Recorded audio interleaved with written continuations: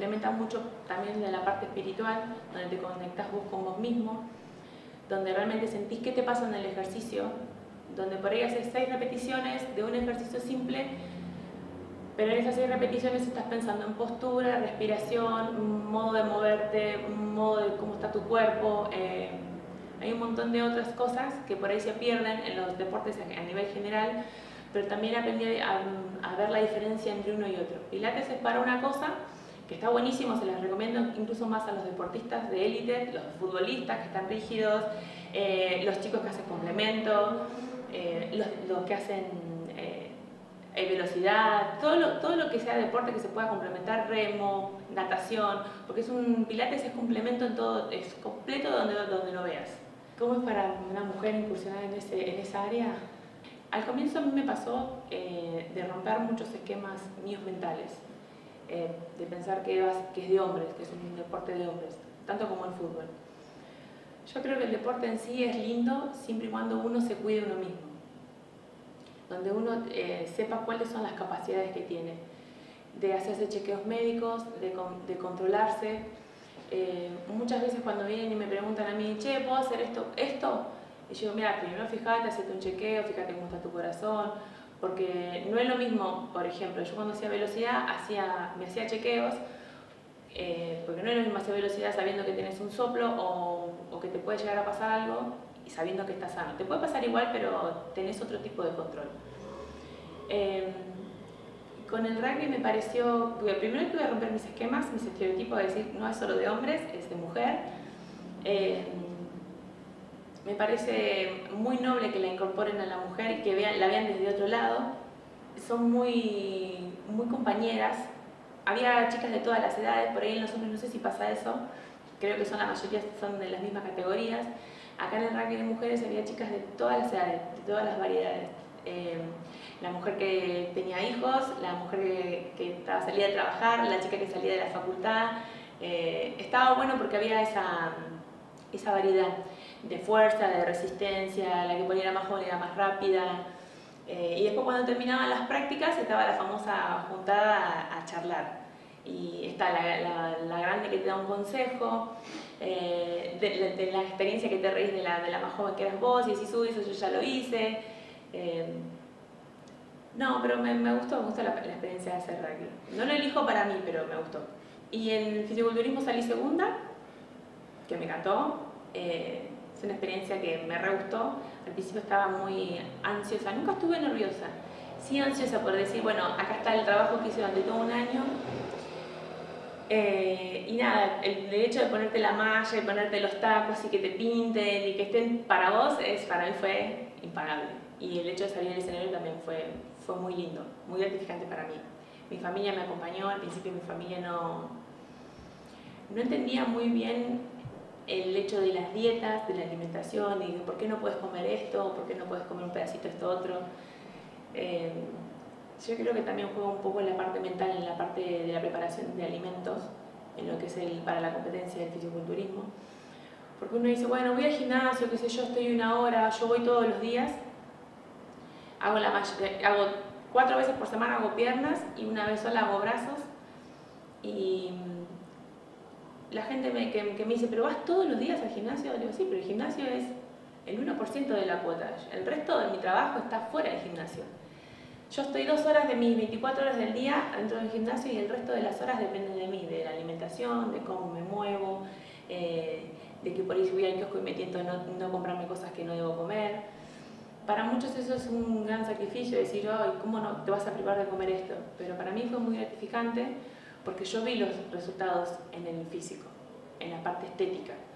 eh, la piel se te afina un montón, te cambian un montón eh, eh, hábitos. No sé si son malos hábitos o buenos hábitos, son hábitos.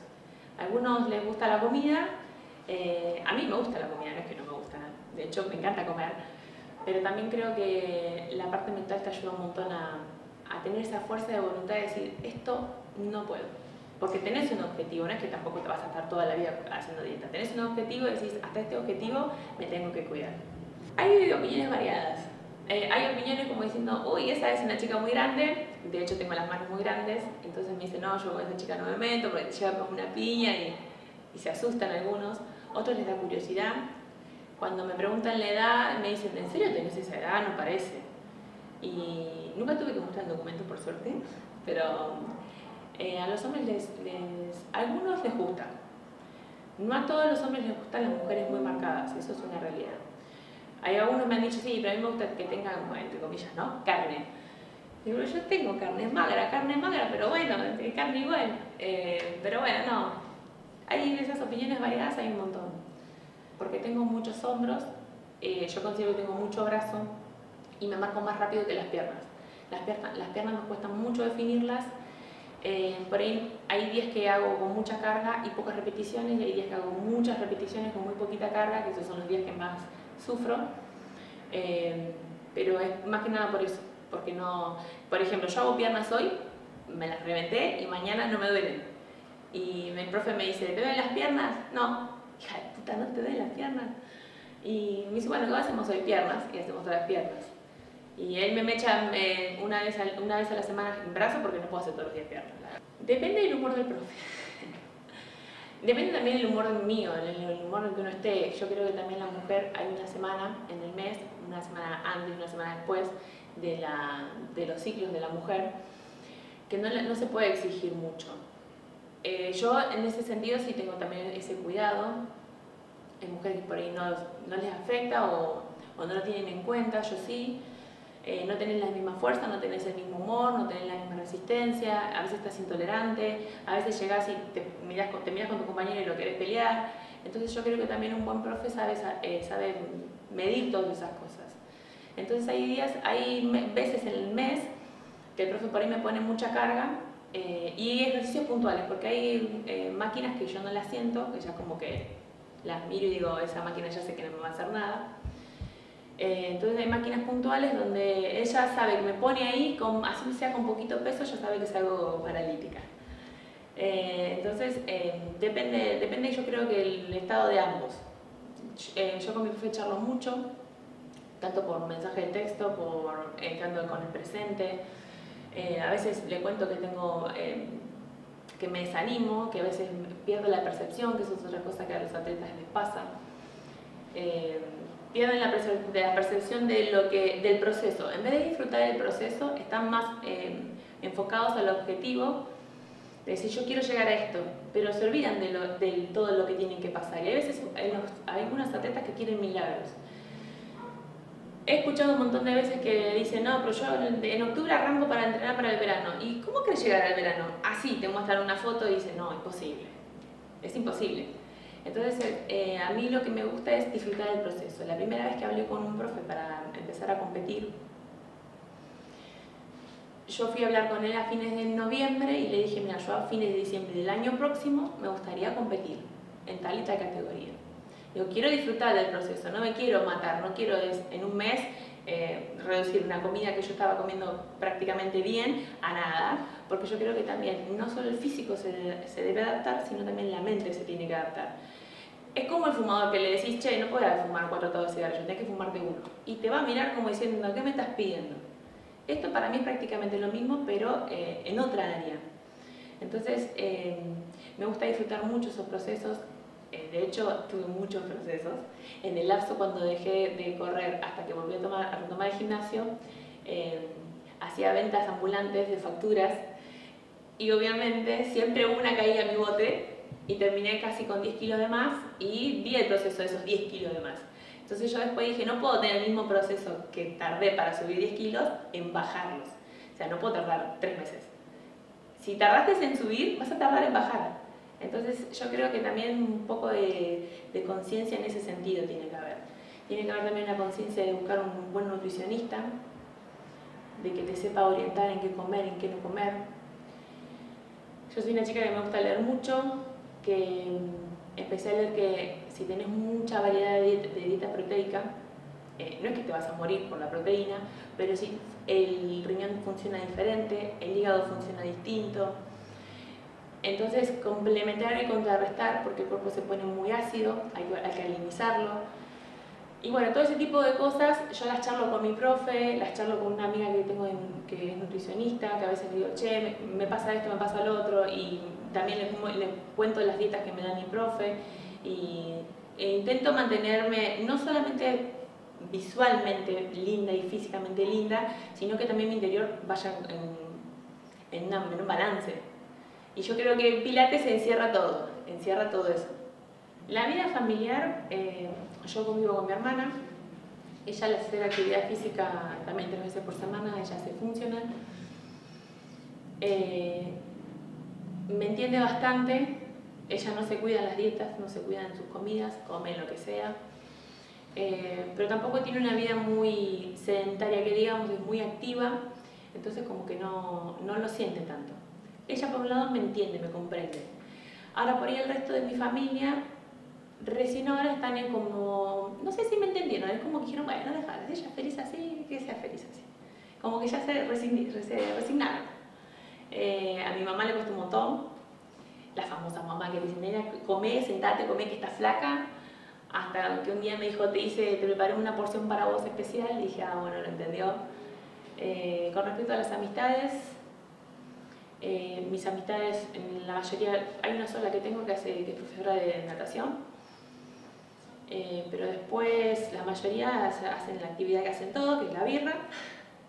Entonces cuando se juntan a hacer su actividad, eh, me tomo alguna cerveza, por ahí como una pizza con ellos, no es que digo, no, esto no. Y, eh, yo creo que con las amistades también hay que cultivarlas un poco por la parte de, la, de la comida. La comida es para reunir a las personas.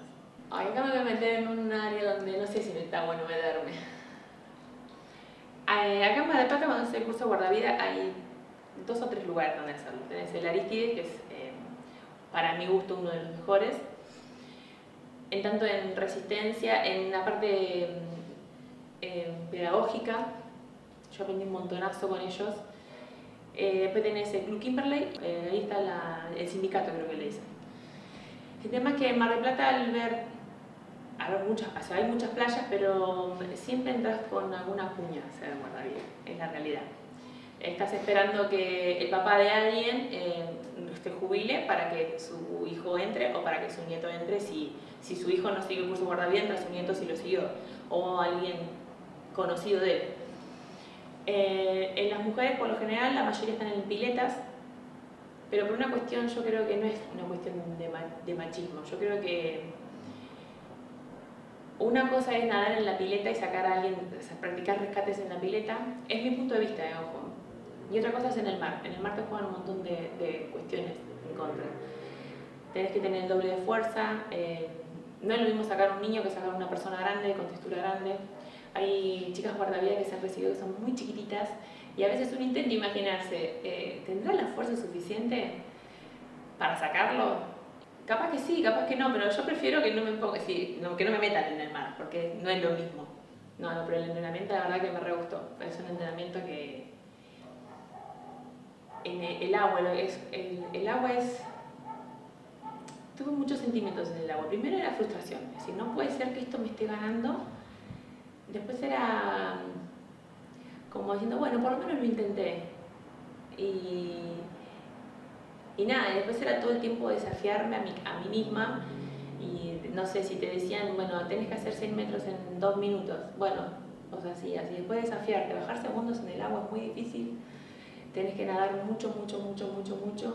De los chicos que ya nacen en el agua, que van de chiquitito, les resulta mucho más fácil por la práctica, pero eh, si estás pensando en hacer el curso guardavida y nunca te metiste al agua, metete al agua un año antes. No sé si están bien pagos, la verdad que no tengo idea de cuánto cobran, pero trabajan seis meses y la mayoría de lo que hacen es viajar afuera, porque afuera estamos muy bien vistos por el entrenamiento que tenemos en Argentina. Primero por la condición del mar, que es un mar que un día está bien, un día está mal, como el clima. Eh, el agua es helada. Eh, y en, el Caribe el, agua es una pileta, así que está bien, te, te pueden pasar cosas. Eh, pero si te pones a pensar un mar y el otro, decís, sí, sí, voy allá y estoy... No hago nada. Lo de surf. Bueno, el surf lo empecé, empecé eh, una de mis exparejas me empezó a enseñar tenía dos tablitas, me dijo, ¿hiciste una vez surf? No, bueno, vamos al agua, qué sé yo, me puso el traje, me dijo, esto es así, me enseñó un poco, me metí en la arena, practiqué un poco en la arena primero, a hacer las paradas en la tabla, la famosa tabla que te dibujan en la arena, y me dijo, bueno, ya está, me dice, vamos al agua. Metimos en una en Playa Varese, que es una tipo piletita al comienzo, para, para, para, aprender para mí estuvo genial porque el día que me metí era una piletita.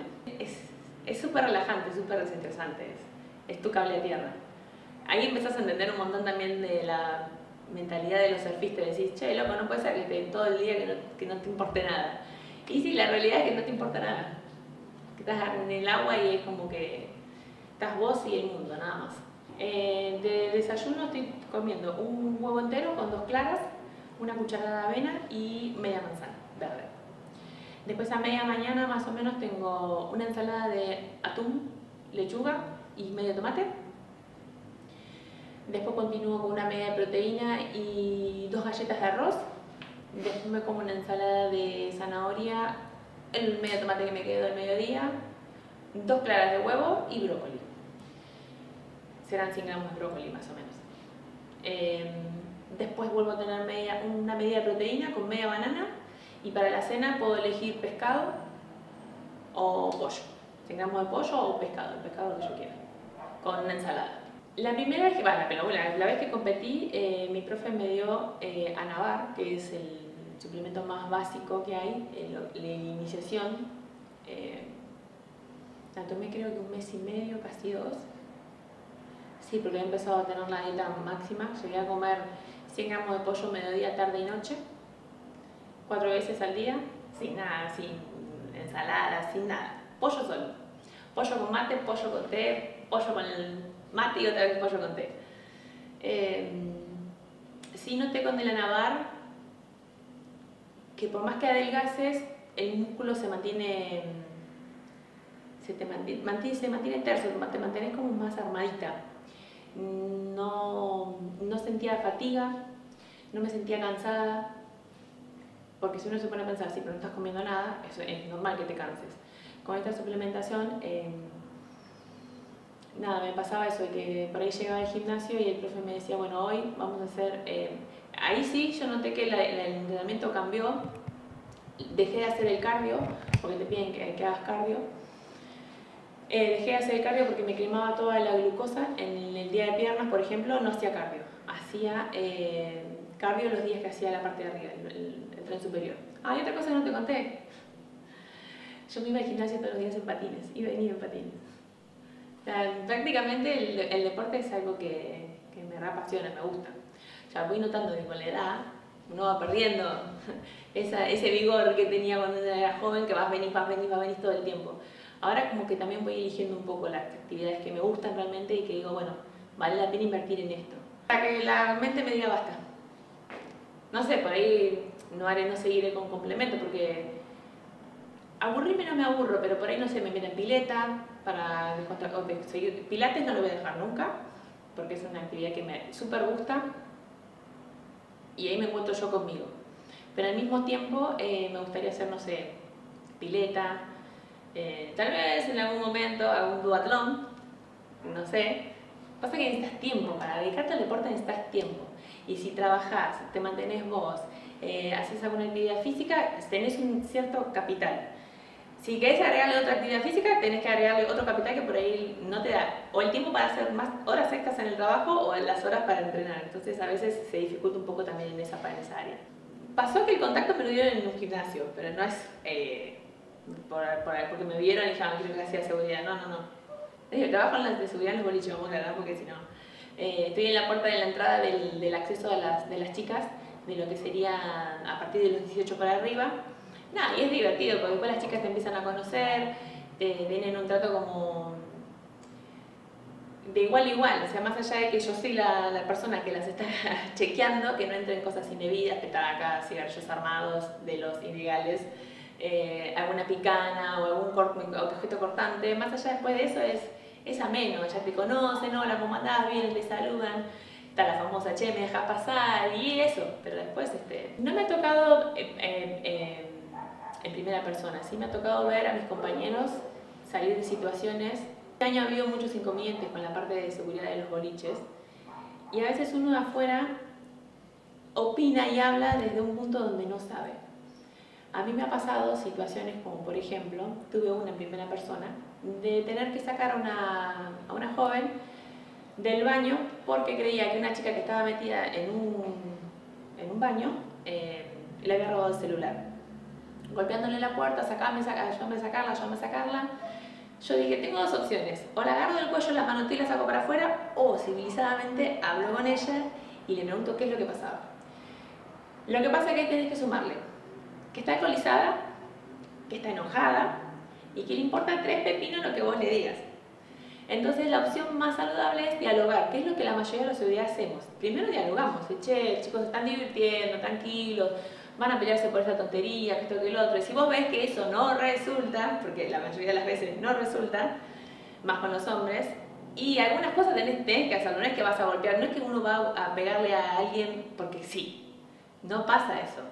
Yo a mí en este, este caso particular con esta chica, con mi brazo, porque nunca la toqué, con mi brazo la corrí de la puerta, le dije, ¿vos querés pegarle? Sí, dice, yo le quiero pegar, porque me robó el celular.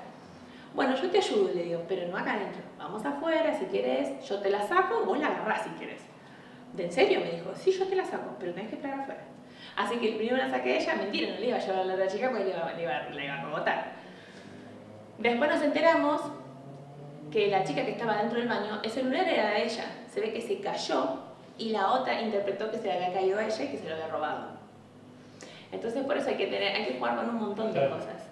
Eh, yo creo que la gente que, que va al boliche, comillas, ahí se va a divertir, se va a distender porque tuvo una semana complicada, porque se peleó con la novia, porque los amigos le insistieron, dale, vení, que esto que el otro, hace mucho que no salís, y uno se va a divertir. Después a eso se le agrega el calor, se agrega que estás todo apretado con la gente, se agrega el alcohol y entre otras sustancias, y eso hace una bomba de tiempo que en algún momento se capum y explota.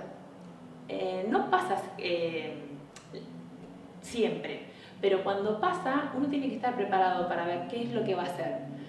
Y en muchas de esas oportunidades, siempre que me, me tocaba pararme en algún lugar puntual del boliche, siempre recordaba, por ejemplo, las cosas que me enseñaron en el curso de guardavida.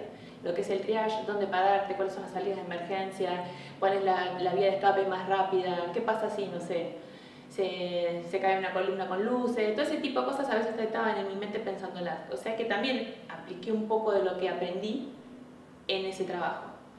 hoy en día estoy entrenando con Alejandro Diorio, un genio, Ale lo amo con mi corazón. Eh, debo confesar que la primera vez que lo busqué para entrenar a él, fui recomendada por eh, Marcelo, que le en el Percha, que fue su profe. Y la primera vez que fui, él me dijo, no estoy entrenando mujeres, bueno, dije yo, listo, seguiré buscando por otro lado eh, algún entrenador. Lo que yo buscaba en esa época era un entrenador que cuando me vieran no fuera, lo primero que me, me preguntaran no fuera, che, ¿te estás suplementando? Eso era como que me choca. Me choca que los profes te pregunten eso de entrada, sin conocerte, sin que te pregunten, por ejemplo, ¿qué actividades haces? Eh, no sé, tenés algún chequeo hecho, venís entrenando adecuadamente, cuántas veces por semana, o en vez de preguntarte todas tus cosas de, eh, de, atleta, te preguntan lo otro. Y eso a mí me choca, porque yo dije, todavía no me conoces, yo me quiero suplementar. Eh, no tengo en contra de nada de lo que es de la suplementación, cada uno hace lo que siente y lo que le place. A mí en particular me choca mucho, por una cuestión mía de, de cuidarme internamente más que nada. Si lo tengo que hacer, capaz que lo haga, pero no es algo que voy a hacerlo durante muchos años. Por ahí esa es la diferencia que quiero que entiendan. No, no es que esté en contra de la suplementación. Y después de un año y medio más o menos, dando personalizados, una de mis alumnas me dice, che, si no vas a entrenar de nuevo, me dice que estabas lindo, te acordás que hiciste esto, hiciste lo otro, porque también mis alumnas vieron el proceso de llevarme mis vianditas al estudio, de qué te toca comer, y hoy cómo vas a entrenar y tal, y contarles. Y esta chica me dice, ¿por qué no le mandas un mensajito de nuevo al profe? Si tienes el no, ya te había dicho que no. Ah, no, por sí, me dijo. Así que fui y le mandé un mensaje, me dijo, mira, estoy en el gimnasio, si quieres venite. Fui para el gimnasio, que de hecho no me queda cerca de mi casa, a un, sacrificio enorme para ir a entrenar.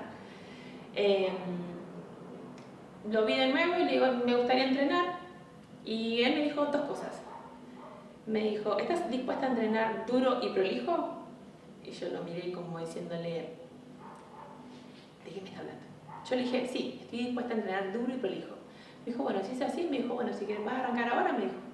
Y yo la verdad que no iba preparada para entrenar. Dije, no, vengo mañana, arranco mañana. Bueno, mañana te espero. Así que coordinamos una hora y arrancamos. Y es hasta el día de hoy que, no sé, me está mandando mensajitos preguntándome cómo estoy, cómo vengo con la dieta, que no vengo muy bien. Bueno. Pero bueno, eh, nada, esperando volver. Para este año no sé, porque con todo esto que está todo parado, ya hace meses que no hago nada de lo que sería complementos. Sí estoy haciendo como la mayoría en casa alguna eh, actividad por, por YouTube. Estoy haciendo muchas clases de Strong y Zumba, eh, que son, eh, es tipo un funcional mezclado con taekwondo. Estoy haciendo eso, estoy bueno, los bidoncitos con agua, algunos ejercicios de, postura con, con, los bastones, escaleras, tengo 12 pisos de escaleras, así que le meto a las escaleras pero bueno, más que eso uno no puede hacer porque no, me, muero por salir a correr, me muero por salirme no sé, una bici, arriba el patines, pero no se puede. Así que hasta que abran el gimnasio no sé qué va a pasar. Quiero competir. Quiero competir, sí. Además estuve chuleando las manchas, los tacos, todo. Tengo dos, sigo dos chicas que son como por así decirlo mis, mis musas. Una es Michelle Lewin. Eh, también acá hay que diferenciar algo. Yo dije, me gusta Michelle Lewin, me gusta su físico, me gustan sus piernas, pero yo no tengo ese físico. Ella es más chiquita que yo, tiene la caja torácica más chiquita, la cadera es más chiquita, nunca voy a estar como ella. Pero por lo menos apuntar a eso. Y otra de las chicas que me gusta es una brasilera que se llama Bibi Winkles, que ella es Wells, que tiene unas piernas así zarpadas enormes, un trasero así gigante, que tampoco me va a pasar porque mi contextura física no está preparada para esas piernas, eh, pero bueno, son, son objetivos por ahí. Definir más mi, cuerpo es el objetivo mío. Que se note bien el cuádriceps mío, que por ahí nunca llegó a definirse bien. Eh, de la cintura para arriba no me cuesta nada, de la, de la cintura para abajo lo que más me cuesta definir bien el glúteo. Eh, cuando yo digo todo esto estoy pensando en tiempo y yo sé que más o menos van a ser dos años, dos años y medio, más o menos tenés que, para llegar a competir a ese nivel, hay que suplementarse, y mucho. Y yo no sé si estoy dispuesta a eso. Si me decís que tengo 25, bueno, sí, le meto para adelante. Pero no, después me ha pasado que el primer año que empecé a entrenar para competir, estoy hablando con Erika Feller, no sé si te suena, eh, y ella fue campeona casi 8 años, y ella me dijo, negra, mira, fíjate cuál es tu objetivo, qué es lo que quieres hacer, a dónde quieres llegar. Yo me suplementé, hice esto, tomé esto, me dijo todo lo que había tomado, cómo se había suplementado, quién la había asesorado, un montón de cosas. Eh, lo que le pasa a la mujer es que cambia su tono de voz, cambia su piel, porque te estás poniendo hormonas de hombres, obviamente. Eh, tu ciclo menstrual se te retira en algunas ocasiones, eh, en otras ocasiones está discontinuado. Y yo la verdad que no sé si tengo ganas de que mi cuerpo atraviese por esos procesos. Y una vez que entras en, ese, en esa carrera, no tenés retorno. Una vez que te cambió la voz, ya está, te cambió la voz. Listo. Eh, no sé, te salen más vellos en la cara, te sale, la parte de, tus senos cambian. Eh, yo no sé hasta qué punto tenés que tomar para que eso te pase. Pero la mayoría de las chicas que compiten la mayoría les ha pasado. Entonces, yo creo que es en el largo plazo lo que te pasa, eh, que te pasa esto. No sé si es la cantidad de lo que tomas, sino el tiempo que lo haces. Porque uno a veces mira las, no sé, las, estas chicas que nombré yo recién. Big Wink, por ejemplo, que vos la ves que hace la pierna así y tiene una, masa, una, tiene una maceta, no tiene una pierna. Y si todo el año tiene que estar suplementada y con esa alimentación, o sea, no lo hacen todo el año, lo hacen un periodo de tiempo, porque si lo hicieran todo el año, no sé, no le quedaría hígado, calculo yo. Digo, capaz que estoy equivocada. Por el tamaño de mis manos, muchos hombres me han dicho, che, ¿no practicaste boxeo? Y estoy en la misma controversia que el rugby. El rugby lo probé porque dije, bueno, a ver, viví. Pero, ah, total, ¿qué te puede pasar? Con el boxeo me pasó algo muy parecido, pero más de joven. Yo dije, ¿tengo ganas que me en la cara? No. Pues la verdad que no. Pasa más que nada por ahí. El entrenamiento, o sea, los entrenamientos de estos deportes me encantan. Pero cuando tenga que, por ejemplo, no vas a ir a entrenar rugby para no jugar rugby, tenés que jugar un partido. Entonces no voy a entrenar solamente para ir a hacer entrenamiento. En el boxeo lo mismo. Si, si vas a entrenar boxeo, tenés que un día subirte al ring que, que te aboya en la cara. Yo no tengo ganas. No tengo ganas de tener la cara partido, tener cejas en la, eh, acá en la ceja, o cicatrices, no, no tengo ganas.